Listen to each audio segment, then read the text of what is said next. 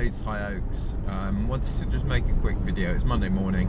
Um, just wanted to make a quick video about that time on a Sunday. Uh, for us, it's normally between four and seven o'clock. Um, not necessarily inclusive of all those hours, but normally for at least an hour.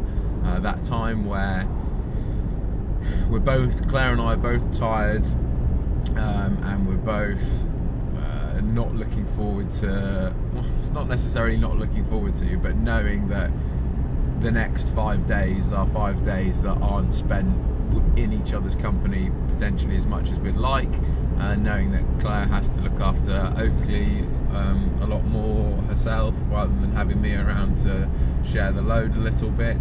Um, although she does most of the things most of the time anyway because she's amazing.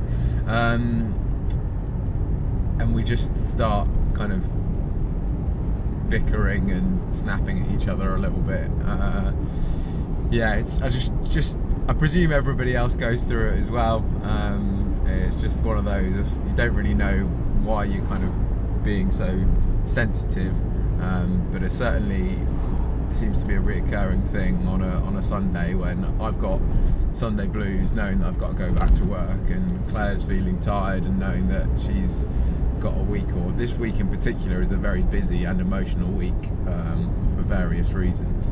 Um, so last night was a 10 minutes of us being very sensitive, overly sensitive with each other uh, before snapping out of it. But after that, yesterday we watched a really cool movie called Wonder. Um, is about a young boy going to school who's got uh, like a facial disfigurement um, and his his journey through through high school, um, like junior school, whatever.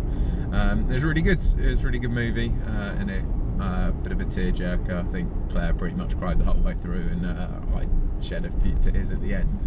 Um, but it was really good, and I really recommend watching it if you get the opportunity. Some good life lessons in there as well. Um, so yeah. have a watch. Wonder. Cheers. Bye.